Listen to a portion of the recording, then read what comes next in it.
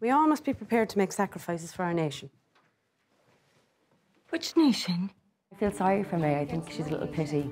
And she goes on a real amazing journey, I think. You know, she starts off really wide-eyed and excited by life. Morning, Constable O'Brien. Morning, Miss Lacy. Don't let me interrupt your morning smoke. Like your flowers. Thanks very much. I couldn't resist. She is very naive. Um, she, uh, she's kind of a lonely character, I think. Um, just wants to be loved, I suppose, like us all. Why don't we go to Corliss's for lunch? That always cheers you up. Uh, She doesn't really have a lot of female friends. Uh, Frances is kind of the only one. Um, she's a more of a uh, boys' girl. You know what I mean? So no, I don't think I'd be friends with her.